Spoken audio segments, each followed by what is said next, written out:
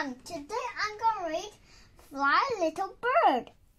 The night is dark, but the moon and the stars are out. In the morning, the rooster crows and the sun rises. Big round sun. You can see everything. The apple tree and the apple.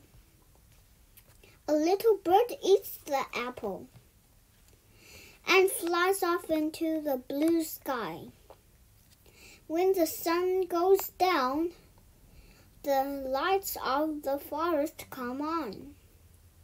The little bird goes home and goes to bed. Thanks for watching my story time. I hope you enjoyed